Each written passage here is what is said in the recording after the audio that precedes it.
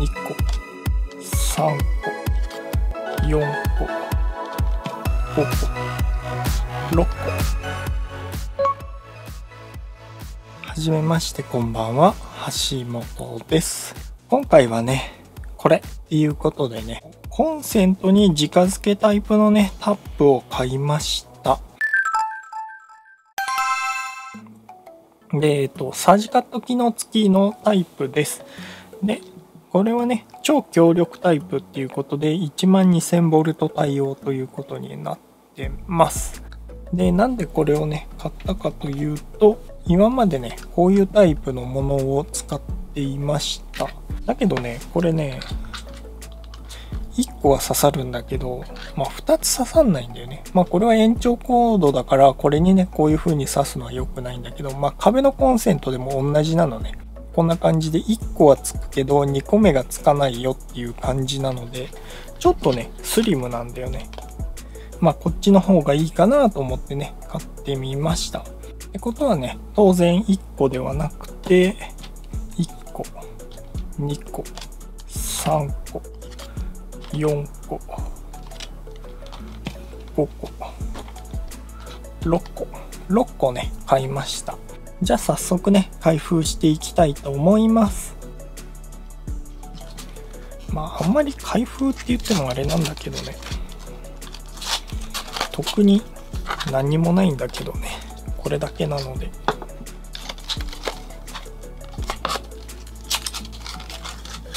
じゃあね、ちょっと外観を見ていこうかな。ここにね、LED が、緑色の LED がついてるんだけど、通常タイプは赤だったかな？超強力タイプが緑だったかな？えっ、ー、と、これがね、点灯している時は雷ガード、まあサージカットっていうやつだね、が働いているよと。で、えっ、ー、と、コンセントの口が1、2、3、4つありますね。で、4つあるんだけど、ちょっと寄ってたりとか、なんかこっちに寄ってたりとかしますね。何なんだろうこれ。こことここが直線上に並んでない感じがするよね。何なんだろうね。ちょっとここはね、真ん中ぐらいについてるんだけど、サイドの面がちょっとずれてるという感じになってます。で、そうだな。設置側、非設置側っていうのの表示とか、うーんと、この穴のね、大きさの違いっていうのはないです。なので、どうしても設置側が知りたいよっていう場合は、検電ドライバーとかを突っ込んで調べてもらう必要があるかなと思います。で、プラグの方なんですが、えー、このようにね、え絶縁カバーが根元の部分についていて、多少ね、コンセントが浮いてしまったとしても、ここにね、ホコリが乗ったりとか、何かね、え金属のようなものが乗っちゃったとしても、通電しないようにね、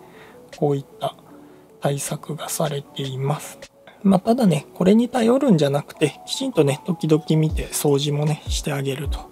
いうのが大事かなと思います。で、プラグ自身もね、え、大小とかはないです。なので、設置側、非設置側、どちらでも接続できるタイプです。で、アースとかもないね。で、従来のね、3口のタップと比べるとこれぐらい。3分の2っていうとちょっと言い過ぎかな。まあそれぐらいスリムになってます。ってことで、コンセントにね、2つ並べて付けられるかどうかっていうのをね、テストしてみたいと思います。1つ目、2つ目。ということで、ちょっと手が見えてるのわかるかなまあ少しね、余裕があって、えー、ぶつかってない感じで接続することができました。で、壁のね、コンセントでも試してみたんだけれど、長方形のタイプね、だと取り付けることができました。要は、この真ん中にスペースが空いてるタイプのコンセントであれば、つなぐことができました。えっとね、化粧カバーが丸いタイプで、これとこれがね、ギュッとくっついてるようなコンセントっていうのもね、時々家によってはあるんですけど、そういう家だとね、どうしてもまあちょっと無理かなと思いますが通常のね長方形のタイプで2口ついてるタイプだと取り付けることができましたということで今回はね矢沢から出ている雷ガード付きクワトロタップの超強力タイプっていうのをね紹介してみましたもしね、どうしてもコンセント足りないよっていう方はね、こういうのを使ってもらってもいいのかなと思います。概要欄の方にね、リンクも貼っておきますので、気になる方はね、買ってみてください。この動画参考になったとかね、面白かった、また見たいっていう方はね、チャンネル登録とかグッドボタンの方もね、ポチッとしていってください。Twitter、インスタもね、始めてますので、もしよろしければね、フォローの方もよろしくお願いします。おまけなんですけど、まあ、えっ、ー、と、こういうね、タップを使うと、おそらくね、壁のコンセントをね、増やせって言われると思うんですけれど、基本的に壁のコンセントのね、増設工事っていうのは、これと基本的に同じです。既存のコンセントに渡りって言ってね、あの、ケーブルをつないで新しいコンセントにつなぐと。要は、口を増やすだけで配線は全く触らないというタイプの施工が一般的です。なので、あの、そんなにね、えー、目くじらを立てて、これをね、あの、悪いっていうほどのことではないのかなと思います。もちろんね、あの、これケーブルがね、ついてないタイプなんですけど、ケーブルがついてるタイプのタップをね、何本も何本もね、継ぎ足し継ぎ足しで使うと、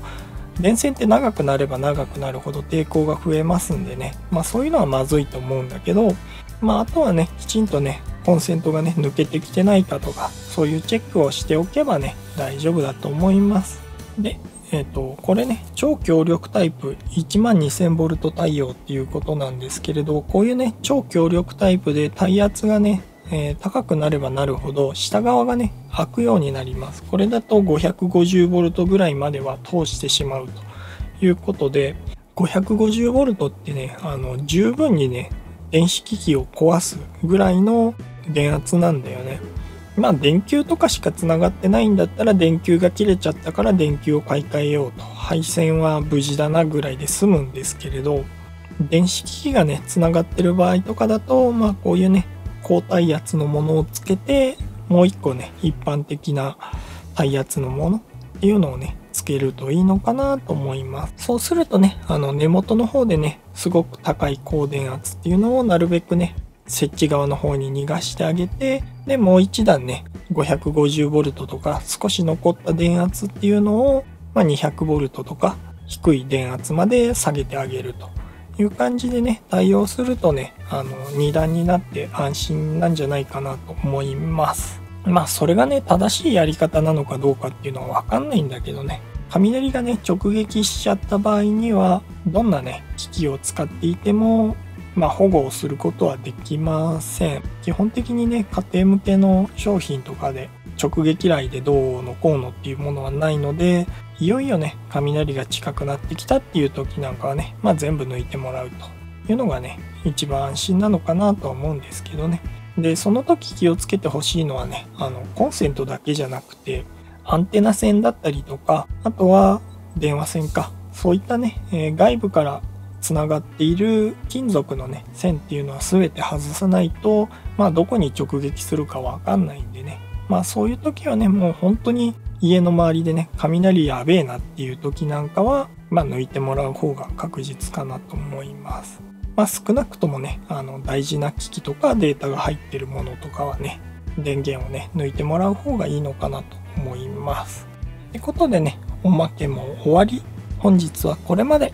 また次回の動画でお会いしましょう。ご覧のスポンサーの提供でお送りしました。